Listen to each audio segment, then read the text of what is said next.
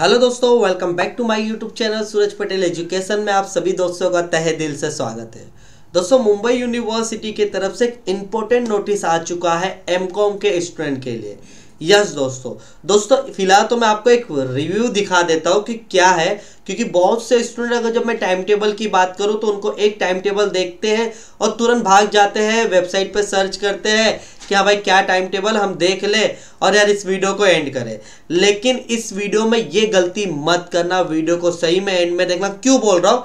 आपको दिखाता हूँ। आप इस वीडियो को पूरा देखिए, आपको समझ में आ जाएगा कि मैं क्यों बोल रहा हूँ। क्योंकि मुझे आपको समझाना है। देखिए, ये M com part one semester pattern का एग्ज़ाम के स्टूडेंट के लिए। अब आप लोगों के लिए एक टाइम टेबल इधर नीचे दिखेगा। देखिए, ये टाइम टेबल दिख रहा है जो एग्ज़ाम चालू हो रहा है ट्वेंटी नाइन मार्च से। अब इसी के नीचे ही मुंबई यूनिवर्सिटी ने उसके साथ और एक टाइम टेबल दिया हुआ है जिसका एग्ज़ाम चा, चल, चालू होने वाला है चार अप्रैल से। तो भाई दोनों में क्या फ़र्क है दोनों में क्या अंतर है इस वीडियो में हम जानेंगे तो वीडियो को स्किप मत करना। और अगर आप इस चैनल पे नए हो तो भाई चैनल को सब्सक्राइब करके इस वीडियो को लाइक करना ना भूलना और अपने ज़्यादा से ज़्यादा दोस्तों में ज़रूर शेयर करना अगर ये वीडियो उनके लिए भी यूजफुल है तो। तो चलिए दोस्तों, हम पहले ऊपर जाते हैं और ऊपर वाला देखते हैं कि ये क्या है।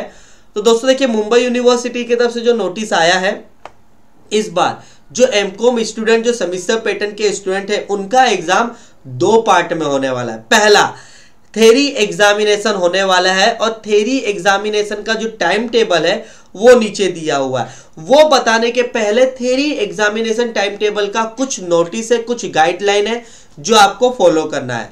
आपका एग्ज़ाम का जो शेड्यूल होगा, जो टाइम होगा दोस्तों, वो नौ बजे से लेके एक बजे तक का होगा। और नौ से एक बजे मतलब तीन चार घंटे का एग्ज़ाम नहीं है। आपको एक घंटा सिलेक्ट करना है। All student are hereby inform that they have to choice one hour मतलब कि आपको कोई भी नौ बजे से लेके एक बजे के बीच में कोई भी एक स्लॉट एक घंटे के लिए सिलेक्ट करना है। चाहे आप नौ से दस में एग्ज़ाम दे सकते हो दस से ग्यारह में दे सकते हो ग्यारह से बारह बारह से एक में। लेकिन अब इसके रिलेटेड एक नीचे एक लाइन दिया हुआ है कि student are also inform that is suppose he, he and she has log login किया at 12.30 मतलब बारह बज के तीस मिनट पे अगर उन्होंने लॉग इन किया तो मतलब स्टूडेंट को हाफ़ एन आवर का टाइम मिलेगा।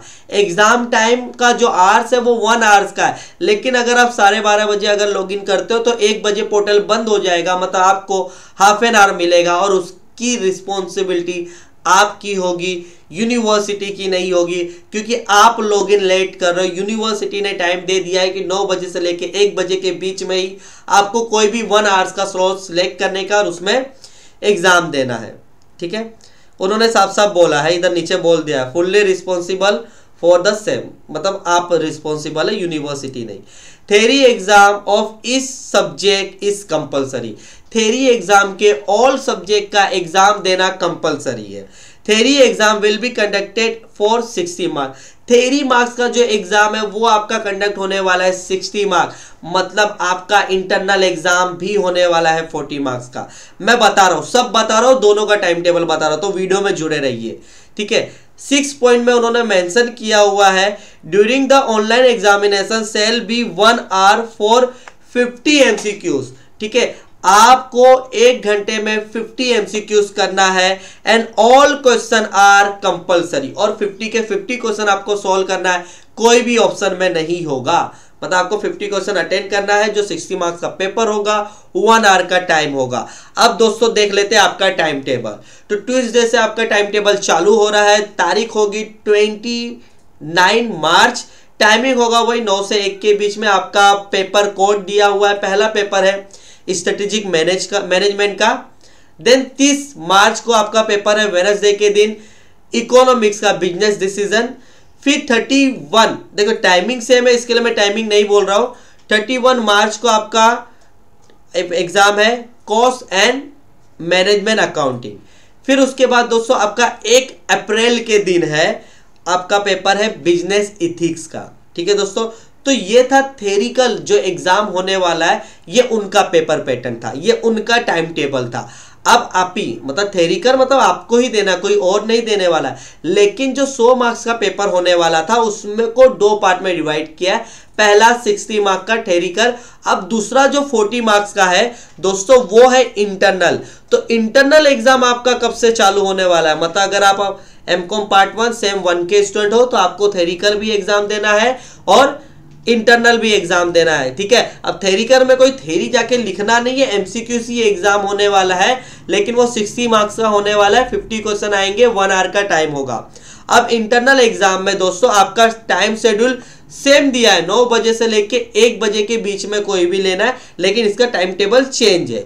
लेकिन यहाँ आपका जो पेपर होने वाला है, वो सिर्फ़ आपको चॉइस करना है हाफ़ एन आवर मतलब नौ से साढ़े नौ बजे एग्ज़ाम दे सकते हो, साढ़े नौ से दस बजे तक का दे सकते हो, दस से टेन थर्टी का दे सकते हो टेन थर्टी से लेके इलेवन का दे सकते हो। मतलब आपको जो स्लॉट सिलेक्ट करने का है, वो कितने का करने का है? हाफ़ एन आवर ठीक है? देन उसके बाद दोस्तों, दिया हुआ है कि अगर आपने लॉगिन 12:45 पे किया हाफ़ एन आवर का एग्ज़ाम है, एक बजे स्लॉट बंद हो जाएगा, इधर देखिए नाइन टू वन का स्लॉट है पीएम तक का स्लॉट है। आपने 12:45 को चालू किया एक बजे स्लॉट बंद हो जाएगा एग्ज़ाम का जो पोर्टल है बंद हो जाएगा मतलब आपको 15 मिनट यूज़ करने मिला इंटरनल एग्ज़ाम के लिए। तो उसके रिस्पॉन्सिबल आप हो यूनिवर्सिटी नहीं है, उन्होंने यही मेंशन किया है।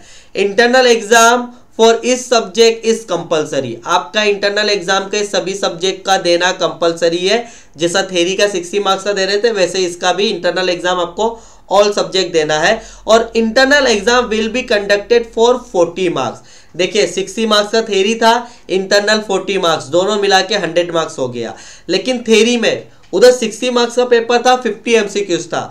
और इंटरनल में इंटरनल में आपको 40 मार्क्स का पेपर है, लेकिन 30 मिनट मिलेगा, और इसमें दोस्तों सिर्फ़ आपको 20 क्वेश्चन सॉल्व करना है।